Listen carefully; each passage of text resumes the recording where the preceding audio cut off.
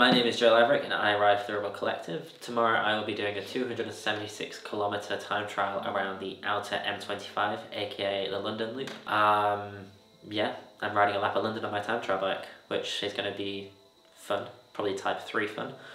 Um, I will be using the Ribble Ultra time trial bike, which has been fully specified to my own kind of likings, which means there's some kind of slightly wacky parts on there, but kind of quite simple. Try and ride around London in seven hours or less.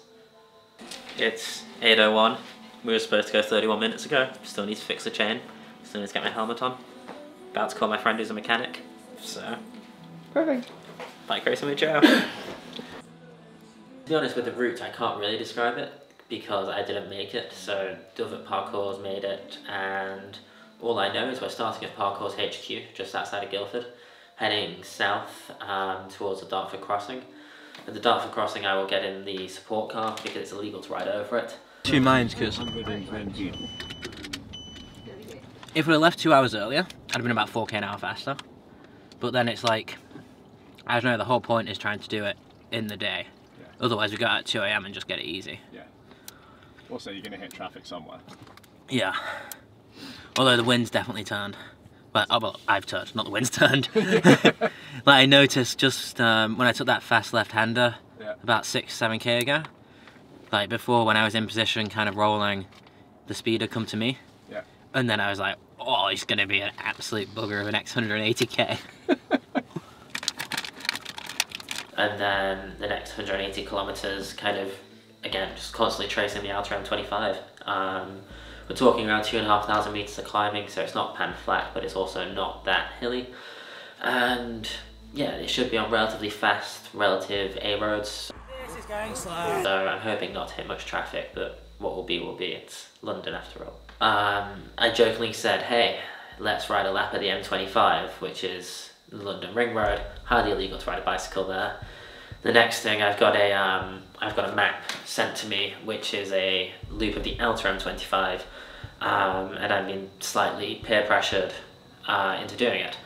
Uh, the goal is seven hours simply because it sounds nice. um, it give me a 40 kilometer an hour or 25 miles an hour average, and it's kind of that middle ground where it's hard enough that it's going to be a challenge. It's not too easy, um, and I think just saying a lap of London in seven hours sounds pretty cool.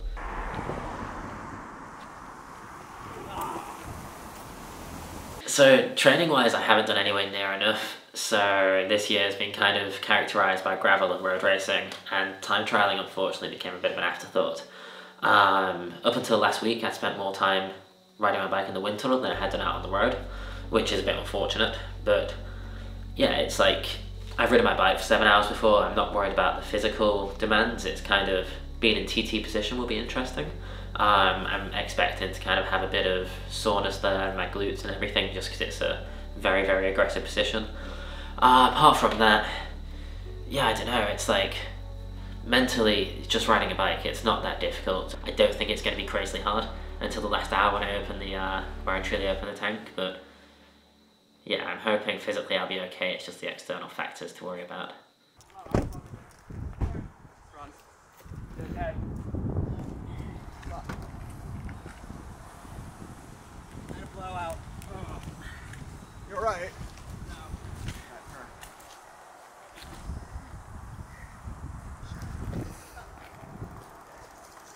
I'm gonna I'll pull the car over.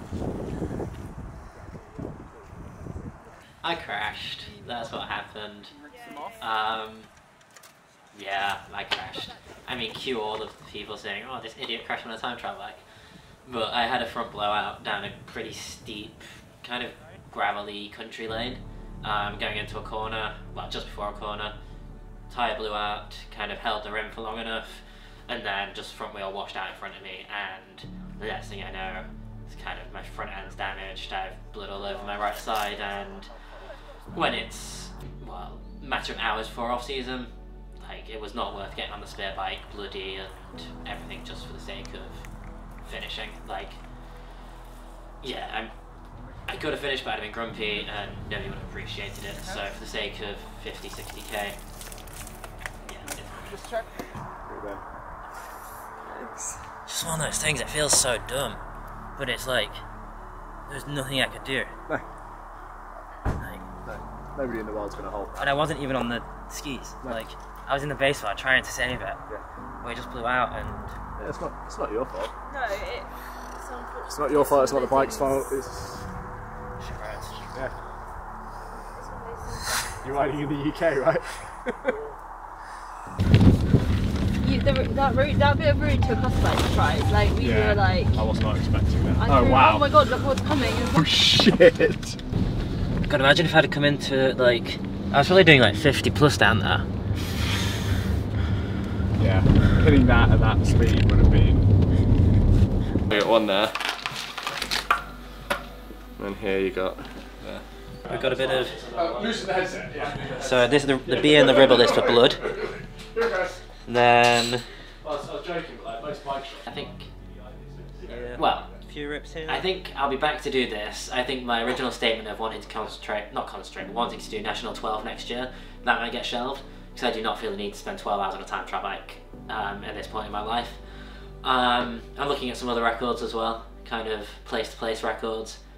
Whether they come out next year kind of depends on the calendar because it's already looking pretty crazy. So, yeah, I'll be back here